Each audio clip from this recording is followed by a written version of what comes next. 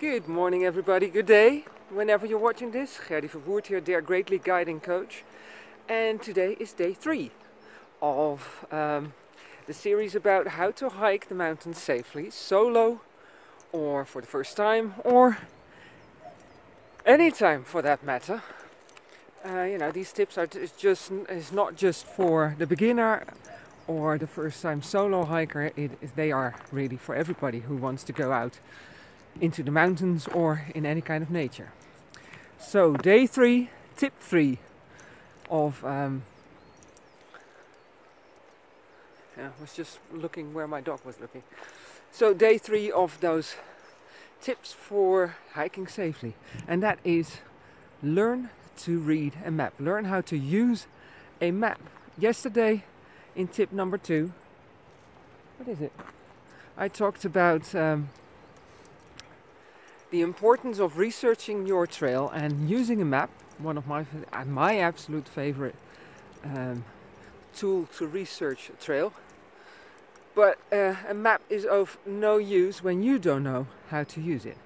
So, find yourself once you've chosen the trail, find yourself a map that um, will tell you exactly what that trail looks like. And um, like I said yesterday, a map um, with a scale of um, at least or at most a scale of 150 1 uh, to 50,000 1 centimeter is 500 meters in reality. You can go smaller. I always forget if the number goes down is that a smaller or a bigger scale? In any case you can go for 1 of uh, to 30,000 or 1 to 25 but like I said yesterday, I like 1 to 50,000. It gives me more than enough detail. Uh, while also... Hang on, I have to rescue my dog here. Yes, come on, there you go. Tangled himself in the line. So, um, where was I? Uh, oh yeah, if, if 1 to 50,000 has enough detail uh, for me to figure out what this trail is going to bring me and how I'm going to hike it. So, get yourself a map. I'm assuming you have one now. Maybe you even chose your trail from that particular map. And uh, when you open it, you'll see in one of the corners of the map that there is an index. And this index explains to you what all the symbols on the map mean. It will also tell you when the map was printed and if the map was printed in 1965 you know put it in a nice frame put it up on the wall it is of no use to you anymore. It's way too old. Uh, if the, the map was printed in 2016 or 2015 it's probably fine because maps don't get updated every year. There's more you know. A three-year-old map is perfectly fine.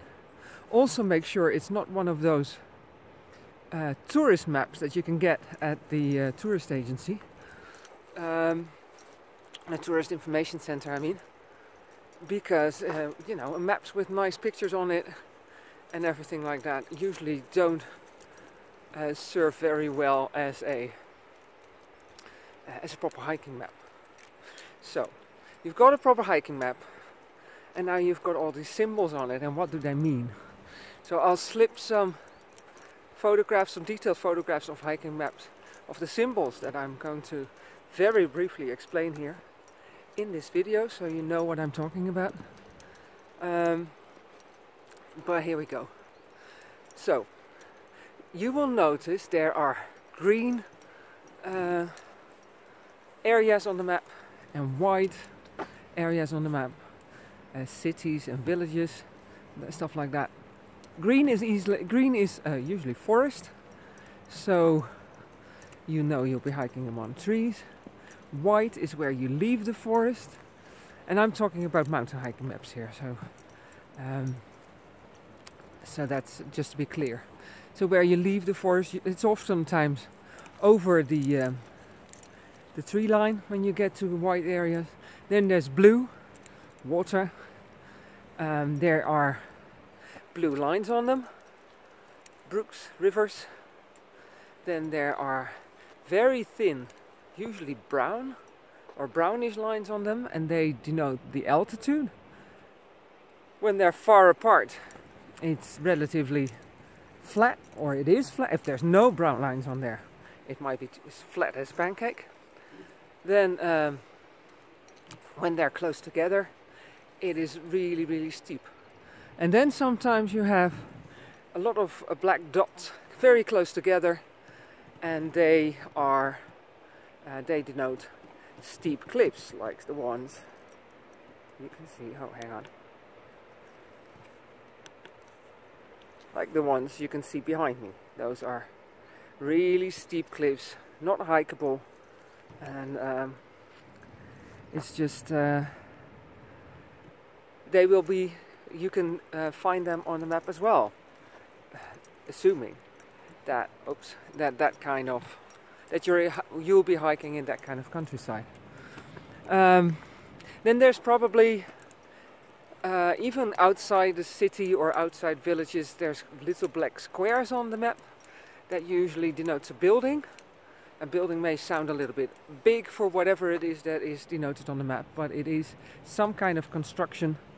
Um, yeah, maybe a small hut or a cabin, a stable, you know, that kind of thing. Uh, what else? Hiking trails are often clearly marked. On the hiking maps in Austria, there are um, red lines or red dotted lines, and the red line, those mean different things as well.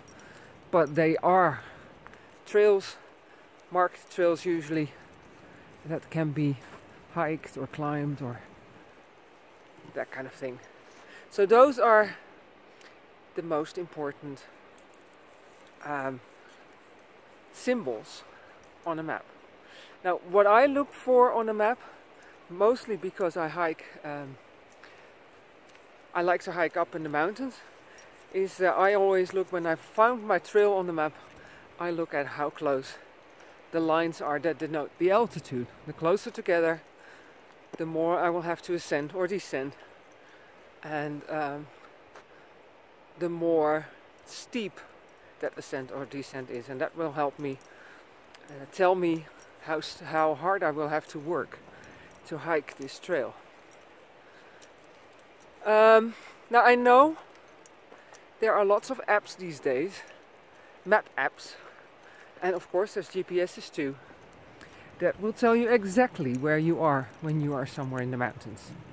Because it's no good uh, just to know how the map works when you're sitting at your desk or at the table.